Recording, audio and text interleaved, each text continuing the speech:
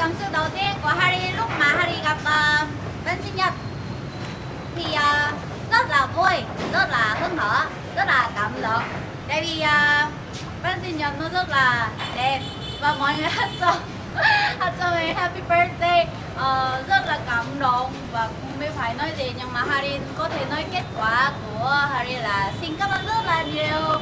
Uh, Harry uh, đầu tiên trước ờ, được nhận được cái bánh sinh nhật tại phim trường ờ, cho nên cảm giác rất là kỳ lạ cực kỳ kỳ lạ nhưng mà rất là vui và rất là hấp dẫn. Ờ, mong rằng uh, Harry uh, ăn bánh sinh nhật này sau đó thì uh, có thể nhập tâm vào cái vai vai của Harry nhiều hơn Harry có thể tập trung nhiều hơn Harry có sức uh, để uh, quay tiếp tục xin cảm ơn rất nhiều.